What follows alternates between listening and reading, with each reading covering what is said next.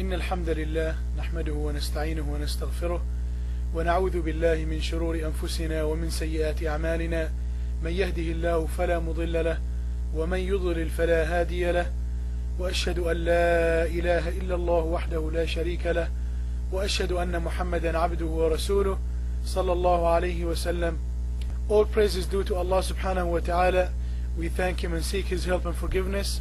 May peace and blessing be upon Muhammad sallallahu alayhi wasallam, His last and final messenger.